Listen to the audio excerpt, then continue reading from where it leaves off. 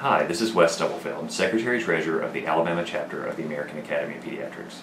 In place of Grant Allen, for this President's Message, I'd like to talk to you about our upcoming Asthma Quality Improvement Project. This project will start in March of 2013 and will extend through the end of the year. We have had this now, this is now the third iteration of this project, and this is a free project that will qualify you for all of your maintenance certification Part 4 credits for this recertification cycle, um, as well as interact with your colleagues in a collaborative manner. Many of our practices across the state have participated in phases 1 and 2 and have been pleased with the results. All of the work is evidence-based and was funded initially by Cincinnati Children's in the national chapter, the national AAP.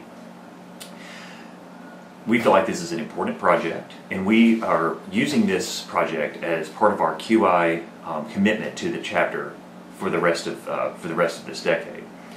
We have a CQN3 Get Acquainted call for our asthma project on Monday, January the 28th at 12:15 p.m.